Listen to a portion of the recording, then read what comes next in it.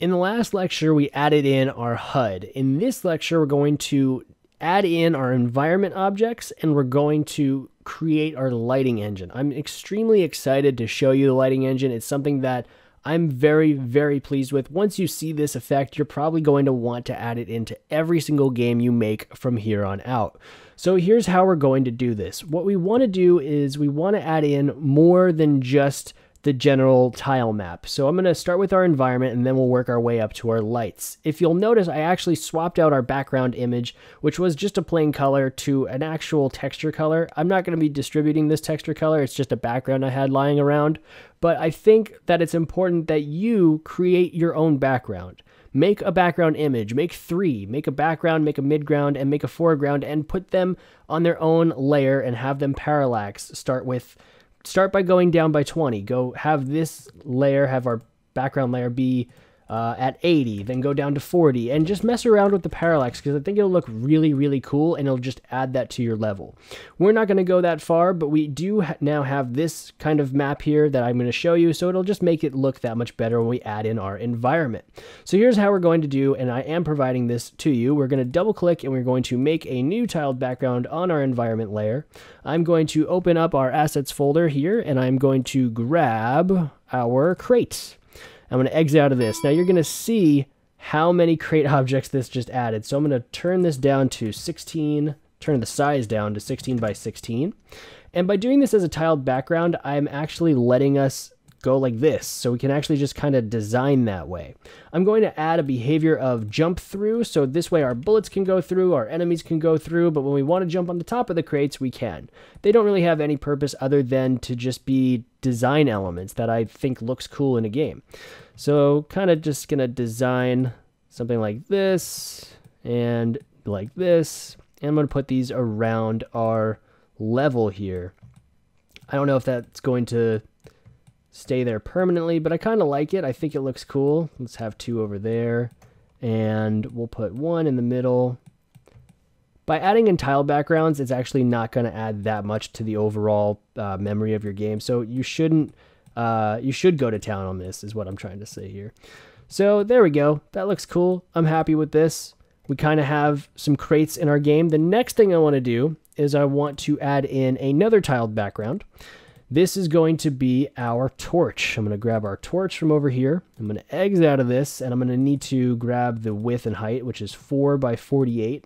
I'm going to set that to be the size of this. And let's put two torches in. Let's put one right here. Let's control click to copy this, and let's put one right here, or at least as close to the center as we can.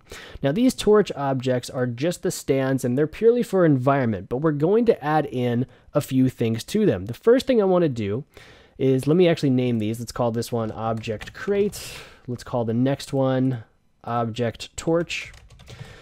And this is what we're going to get used to. We're about to make sprites that are less pixely. Well, actually, in this case, they'll be a little pixely, but we're actually going to make soft gradient sprites. In our torch case, this is going to be a little bit more zoomed in or smaller object. So what we're going to do is make a new sprite, and we're going to set this to 16 by 16. This is why it will be a little less pixely.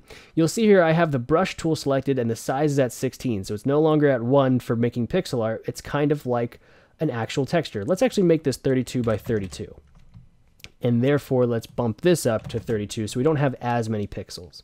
And I'm happy with that color. Let's leave it at that. And what we're going to do is we're going to call this our object torch. And this is really just a halo effect. This really doesn't have uh, much to it, although we are going to give it one property here. I'm going to put this right on our torch, and I'm going to put the opacity down to 50. Then what I'm going to do is I'm going to add a behavior to it. I'm going to add the behavior of sine wave. And this sine wave is going to be an, let's try an opacity sine wave with a magnitude of, something tells me 50 is way too large, but we'll just mess around with that and see how that looks.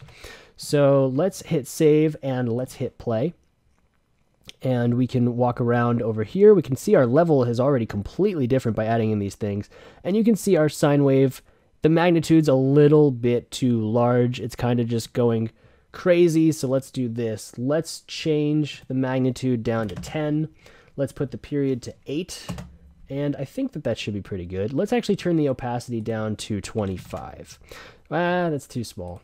Let's go back to 50 and let's move this over. So this is just kind of like an additional effect that we're going to add. This is not really a part of our lighting engine, although when our lights do shine on this, it'll see it and it'll look like it is. So this is just kind of a, a secret effect. Did I hit a number here or is that too little?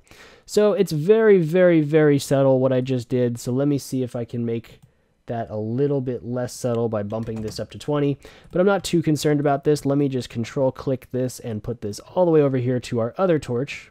And we are now decorating our environment. We're just kind of making more environment stuff. Now, what I want to do next is I want to add in a particle effect. Unfortunately, we already have a particle effect. So if we grab this particles here and we right click and clone it, I'm going to bring that, or if it didn't bring it in already, I'm going to drag in particles 2 and I'm going to change a few things about Particles 2. Not much, but a few.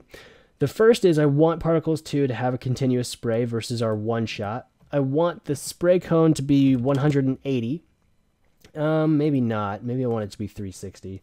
Let's try it at 360 actually. And also, if the size is too big, which it is, let's put it down to 4 by 4 so we can actually see this pixel here. And what we're going to do is we're going to place this right on top of our torch, just like this. And let's put the rate down to 10. Let's put the speed down from 200. Let's try 10 as well. We need to put the size down to 4. And we can put the, hmm, let's think what else we want to do.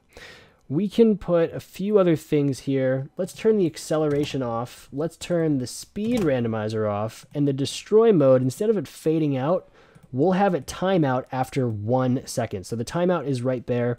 We can change that duration. Let's see how that looks before we go forward with our lighting effects. Um, so if we go over here, okay, so it looks a little crazy. It's the right speed, but the object itself is way too big. So I think this needs to be a size of two, maybe. And I think that's what, maybe that's what the size is. Let's see. Yeah, it's two by two. So let's make sure that that's two. Let's also change these particles to have a grow rate of, let's go for negative 3. Let's have an X randomizer of 3. And these, these are just typical particle things that you might want to add. And there we go. We have a cooler fire effect added to it. I'm pretty happy with this effect. Uh, it's kind of off because of the 360 degrees. We can maybe mess around with that a little bit more. But for the most part, I really like how this effect looks. Yeah, there we go. Something like that. Just a simple fire effect. And now what we can even do, uh, I think I actually... There we go. What we can even do in addition to this is we can double up our other particle effect. And we can just have this be right there with it on our environment layer. So it's just kind of messing around with different things, and you can see that by having two of them, it should have done a different particle effect, unless this one now has completely the same properties. Hmm, that's interesting. Anyway, that's what we were going to do for this. I'm going to copy and paste this over here and put this one right on top of that. And I'm happy with that for now because we are about to do our lighting effects. So we have our crates, we have our torches. Let's hit save. Let's lock our environment layer. And underneath our HUD layer, we're to make a new one and call this lights. So this lights layer is very important. It's a technique I learned from a buddy of mine named Adam Prack, who's making a game in Construct 2 called Courier, which you can check out. It's really, really cool. He uses this technique everywhere. And what we are going to do is we're going to change the background color from white to black, and we're going to turn the transparency to no. So now every layer underneath this, except for our HUD, is going to be invisible. And this is really, really cool. It's also scary. You're like, where did my game go? So what we want to do is we want to set the force own texture to true. Now this is for rendering our own background.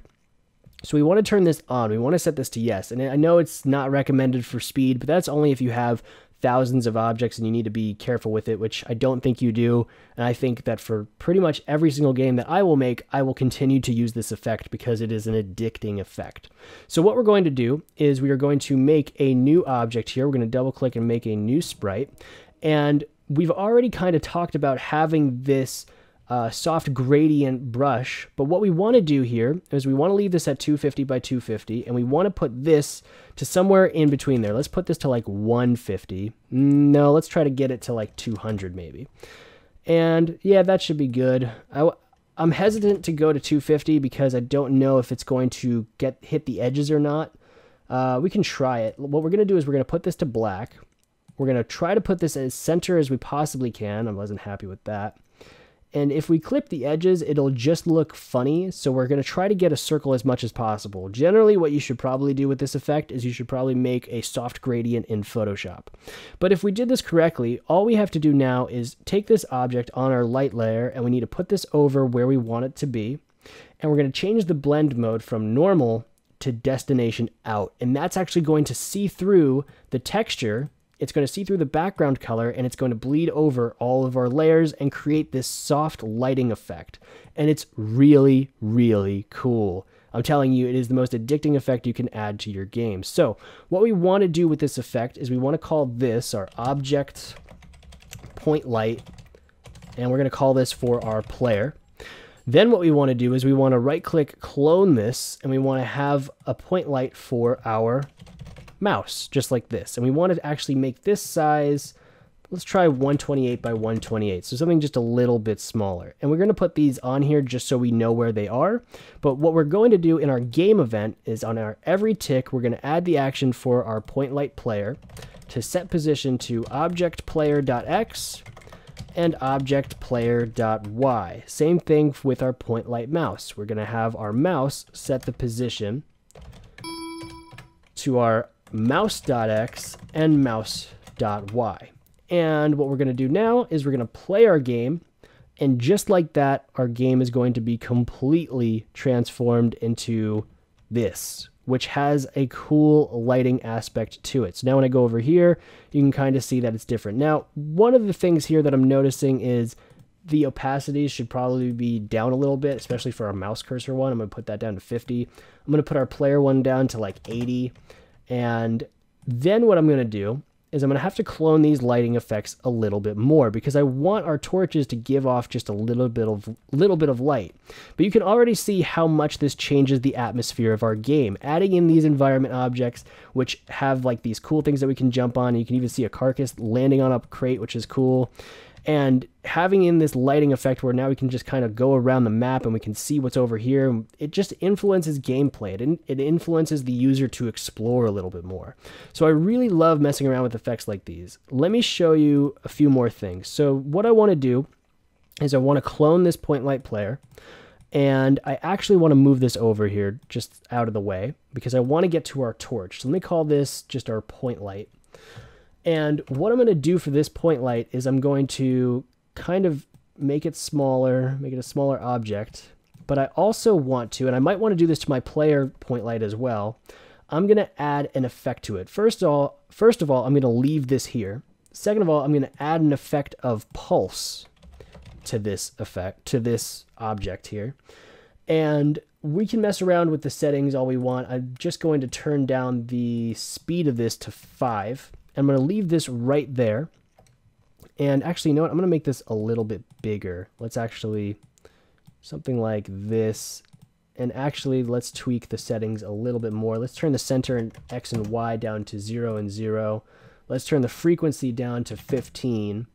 And let's turn the intensity down to 50. So it's not going to be as intense of a pulse, but it should pulse enough to give us the effect that there is a torch over there. So if I come over here, like right around here, you can see that it is emanating light. It might be hard to see on the screen capture, but you can see that it's giving off light. And in addition to that, with the object moving, with the particles moving, and with that there, it's actually pulsing a little bit more with our actual texture, with our black background and you can see that it's actually giving off light and therefore it's a subtle thing but it looks really really cool so i'm going to copy and paste that and put that over here just control click put it all the way over to our other one here and you can actually see that it's actually lighting up our player just by a little bit let me zoom in and then move around with the arrow keys because I have snap to grid turned on Let me hit save. Now, I could do the same thing for our point light player here. I could actually have our point light player have a pulse effect and it'll look cool and I've done it before. Really what you want to do is you want to start to attach objects you want to start to attach point lights to objects. You want to start attaching them to torches, to lanterns, to things that should give off light. And that's where you're really going to have success with your level design because adding in these lighting effects is really powerful. It makes your pixel art look that much more uh, detailed and it's really, really easy to add in. So that is pretty much it for lighting effects. There are other ways, there are other lighting effect tricks and tips that we're probably going to cover in the roguelike when we get to doing that because that's going to require more lighting stuff such as colored lights but for right now I think I've given you a whole lot of information to go over our engine is finally taking shape we only have a few more things left to add and we are pretty much done and ready to go. So thank you so much for watching this lecture and I'll see you in the next